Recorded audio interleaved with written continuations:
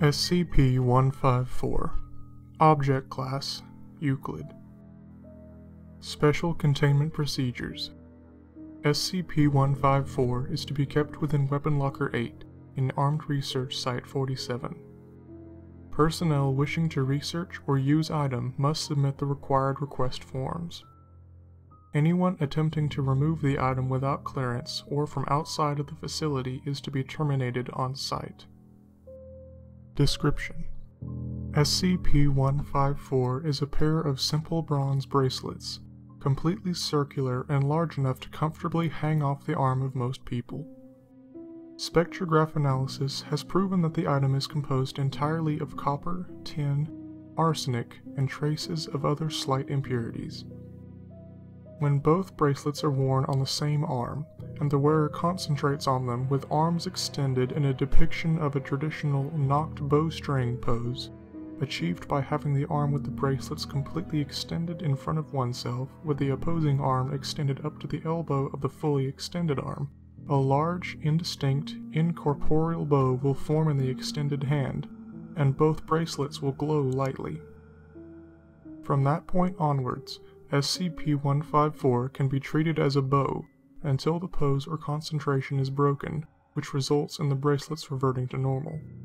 There is no actual bowstring, but completing the motion of pulling it achieves the same effect.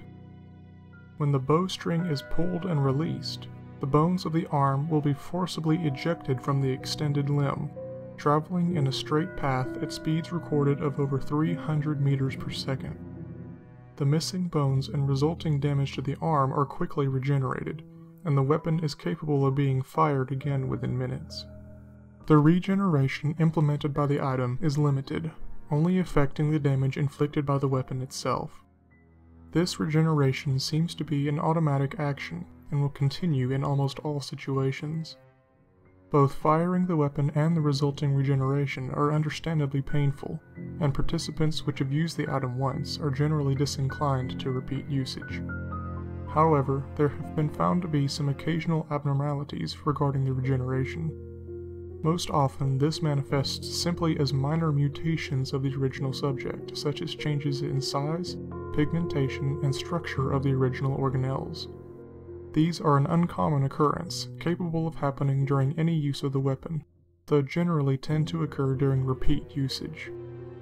There are more drastic abnormalities, though these are much rarer, and coincide with highly frequent use. These mutations can range from anything such as the growth of extra joints and digits in the affected arm, to a complete change of the chemical or physical structure of the limb. One test subject unknowingly had the bone matter within his arm converted into an unstable explosive compound, only discovering the fact when it detonated, causing two fatalities and three casualties. Another had the entire bone and musculature structure morphed into fully functional serpentine physiology.